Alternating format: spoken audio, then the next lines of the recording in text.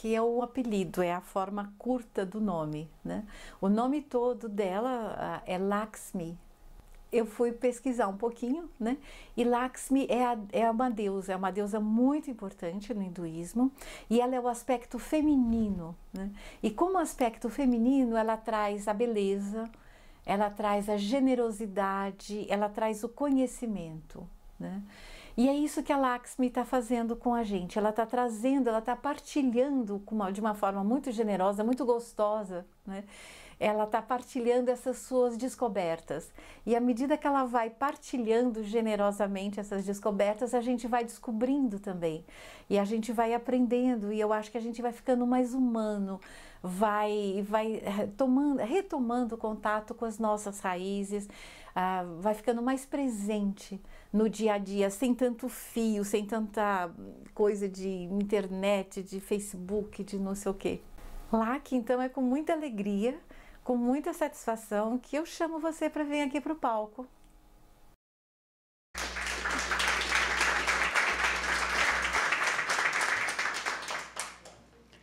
Eu adoro o som de aplausos.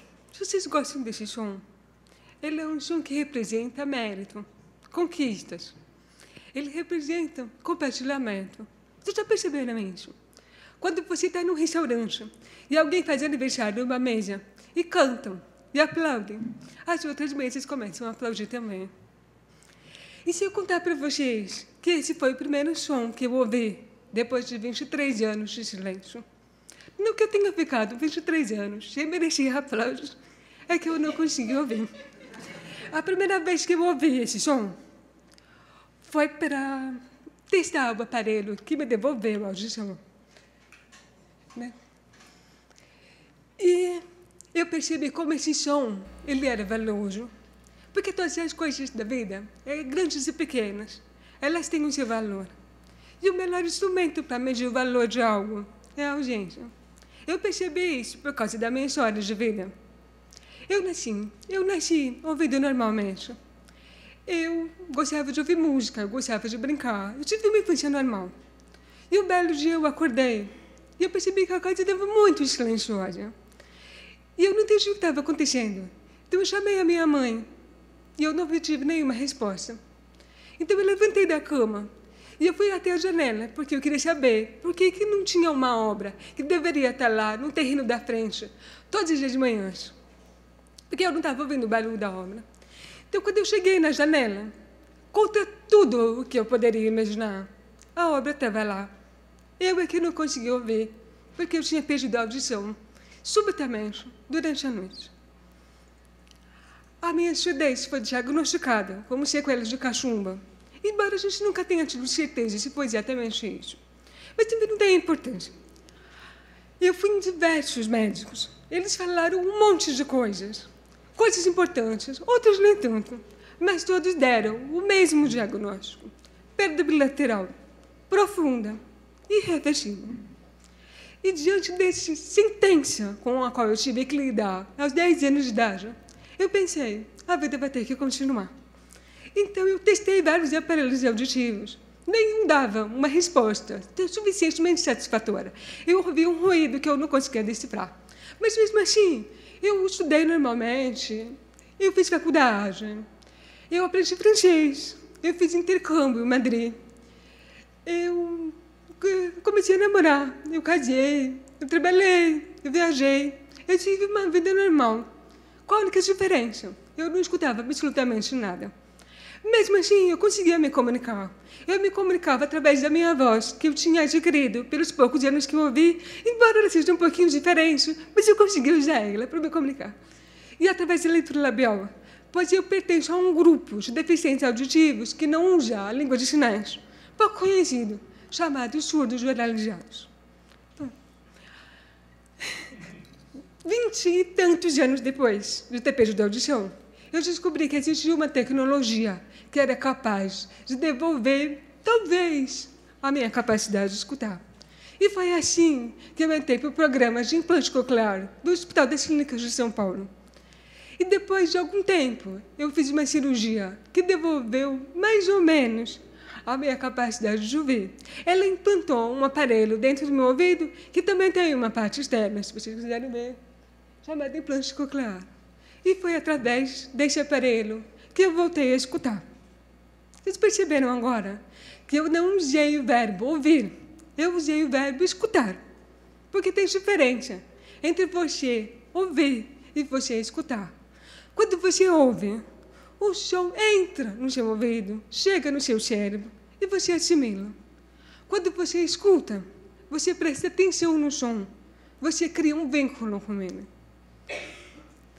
E assim, eu percebo que as crianças são excelentes em escutar, porque tudo é novidade para eles.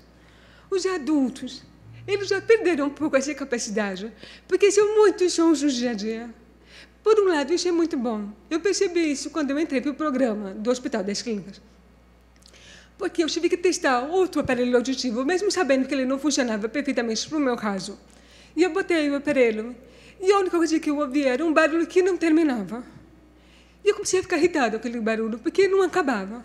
Chegou uma hora que eu não aguentei, virei para o meu marido e perguntei: Meu Deus, que barulho é esse?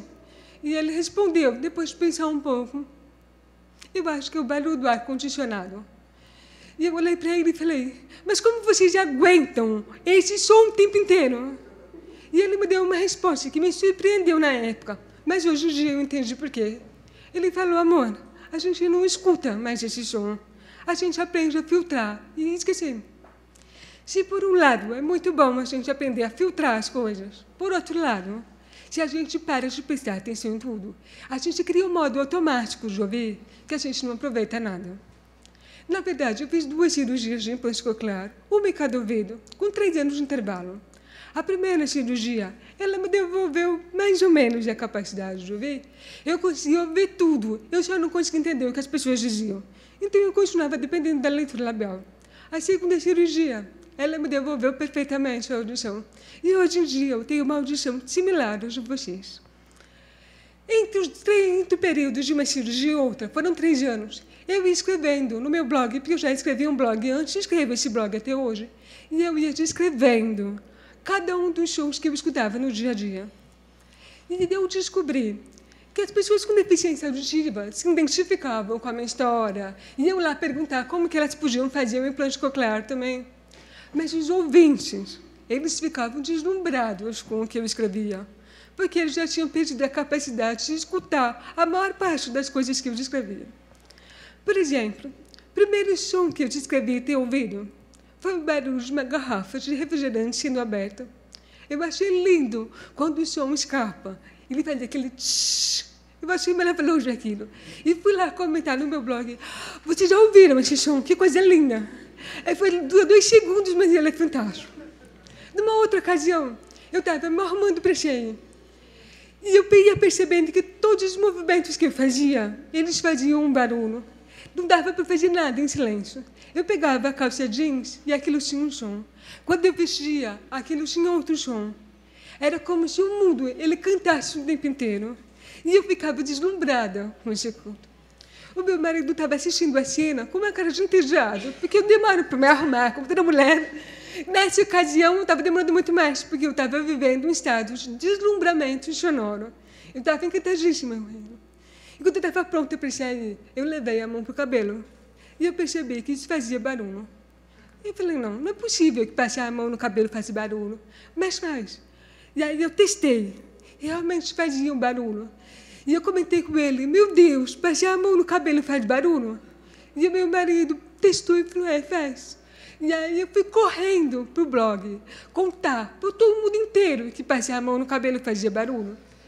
E aí as pessoas deram várias respostas. E a gente falou, é, faz. Tem outras que foram testando.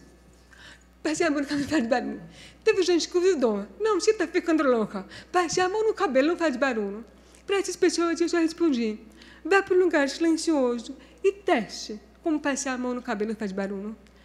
Porque as pessoas precisam de um pouquinho de silêncio para poder prestar atenção no som. Todos nós temos um deleite silenciosos de sonoros. Todo mundo gosta de alguns barulhos do dia a dia.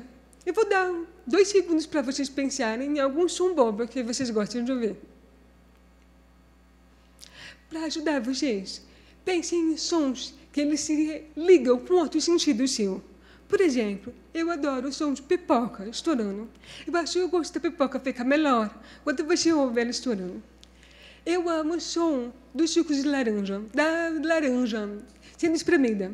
Todo mundo fala que coisa horrível lá, que como que você gosta do barulho do espremedor de sucos de laranja? Mas é porque eu sei que quando eu ouvir aquele som, o suco vai chegar fresquinho para eu tomar. Eu adoro o som da chuva. Eu, tem, tem coisa mais gostosa que você estar tá em casa, deitar no sofá e dormir um pouquinho ouvindo o som da chuva. É verdade quanto maior o vínculo que você tem com esse som, mais importante ele é. E quanto tem uma importância a gente criar vínculos com os sons, porque eles fazem a gente viajar no pensamento. Eles fazem você viajar para outro momento da sua vida. Todo mundo tem isso com música. Pense numa música que lembra um ex-namorado, uma música que lembra o dia do seu casamento, uma música que você canta para o seu filho. Mas também é possível fazer isso com sons banais. Eu percebi isso. Vou contar uma história para vocês. É, a minha mão é muito gelada. Então eu sofro muito no inverno, porque chega uma hora que eu não sinto mais a ponta dos dedos. Então, para esquentar as mãos, eu esfrego elas. Vocês devem fazer isso também, né? E a primeira vez que eu fiz isso, depois de ter, ter colocado o implante coclear, eu testei e a estava silenciosa. E eu ouvi um som. Porque tem um som. Faz comigo, vocês vão ver. Quando eu ouvi esse som, eu viajei para a minha infância. Porque meu pai é massoterapeuta. E ele dava aulas de massagem da até hoje. E eu cresci nessas aulas. Em algum momento da aula, ele sempre dizia para os alunos esfreguem as mãos para esquentá-las, porque massagem tem que ser feita com a mão quente. E aí a sala inteira se enchia com esse som que a gente acabou de fazer agora. E toda vez que eu ouço esse som, eu sinto um abraço do meu pé. Quando você conta uma história, você compartilha um pouco de você. E quem ouve, recebe um pouco de você. Então, eu vou compartilhar com vocês uma história. E talvez ela não faça sentido, mas talvez ela faça. Eu passei 23 anos da minha vida achando que o pôr do sol fazia barulho. Eu não sei se eu ouvi isso em algum desenho, em algum filme, fiquei com isso na cabeça. Então, a primeira vez que eu fui ver o pôr do sol, depois de 23 anos de judez, a gente estava na praia, o sol estava se impondo, e eu fiquei esperando para ouvir aquele som que eu tinha guardado a vida inteira para ouvir. E o sol se pôs, e não fez nenhum barulho. E eu virei para o meu marido e falei assim: Meu Deus, o pôr do sol não faz barulho. E ele deu risada e falou: Meu amor, o sol está se pondo no espaço, a terra está girando. Na verdade, não tem como fazer barulho. Aí eu fiquei triste. E ele falou para mim: Mas por que você achou que o pôr do sol fazia barulho? E eu respondi com a lógica mais infantil do mundo. Afinal de contas, eu perdi a audição com nove anos de idade. Porque eu achava que fazia. E ele virou para mim e falou assim: Tá bom, se você acha isso, me conta como é que é o barulho do pôr do sol. E eu falei, eu imaginava que era um som de um violino enquanto o sol estava se pondo. Finalmente, quando ele se punha atrás do horizonte, ele encerrava com um prato. Na verdade, eu contei essa história para vocês, porque até hoje, depois de ouvir todos os sons do mundo, eu sinto falta de ouvir o barulho do pôr do sol. Ouvir esse som. Quando eu estou na praia e o sol está se pondo, eu fecho os olhos e eu consigo imaginar. E vocês querem saber? É lindo de saber. Funciona. Obrigada.